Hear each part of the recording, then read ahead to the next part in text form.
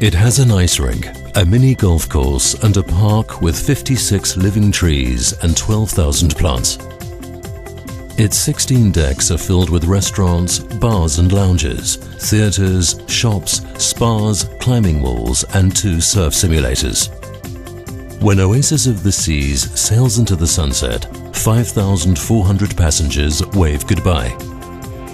As long and wide as three soccer fields laid end to end, the biggest cruise liner ever built operates at high levels of fuel efficiency, ship maneuverability, and passenger comfort thanks to technology no one ever gets to see.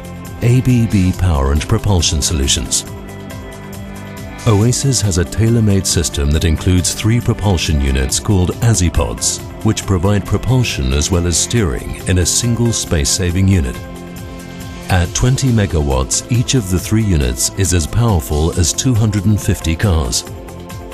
Hallmarks of the compact electrically powered Azipod solution are exceptional maneuverability, smooth operation at cruising speeds, imperceptible levels of noise and vibrations, and fuel savings of around 10 to 15% compared with conventional shaft line systems.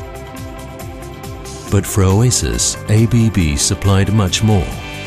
On board, though also hidden from view, you will find electrical equipment like generators, transformers and switchgear, as well as electric motors and drives. ABB has worked with Royal Caribbean, the owner of Oasis of the Seas, on more than a dozen vessels over the past 10 years, bringing a wealth of power and automation expertise to these demanding projects.